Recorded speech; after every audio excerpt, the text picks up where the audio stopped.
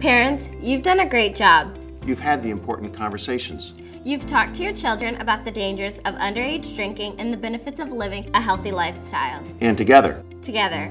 we are making progress. Underage drinking is down. But we aren't finished. We still have a lot of work to do.